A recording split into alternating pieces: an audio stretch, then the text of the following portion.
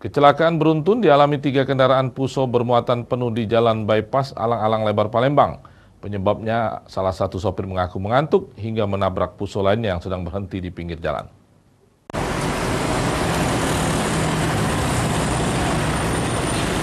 Kecelakaan terjadi di jalan bypass tepatnya dekat SPBU Alang-Alang Lebar Palembang. Kecelakaan beruntun menyebabkan tiga kendaraan Puso masing-masing bermuatan pupuk, minuman ringan dan muatan semen.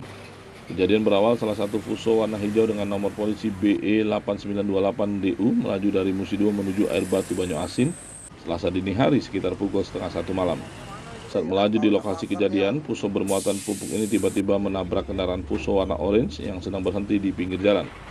Akibatnya Puso bernomor polisi BE 8130D bermuatan minuman ringan tersebut terdorong hingga menaiki trotoar. Ditabrak dari belakang, Puso yang hendak mengantarkan minuman ringan ke kota Kerinci Jambi ini menghantam kendaraan Puso bermuatan semen yang berhenti di depannya. Mana bang? Yang oren. Abang, yang oren. Jadi posisinya seperti apa pas kejadian bang? Ya?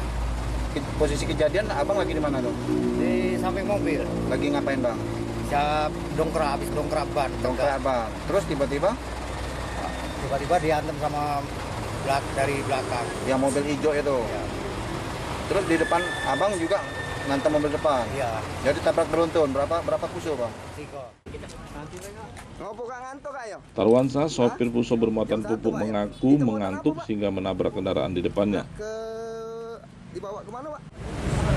Jam satu malam ngantuk, ada mobil di pinggir jalan. Mm -hmm. Nggak kelihatan pak ya? Kelihatan. Langsung ke. Tapi luka-luka ada nggak pak? Di dada? Di dada. Uh -huh. Oh, baca-baca dikit ya. Hmm.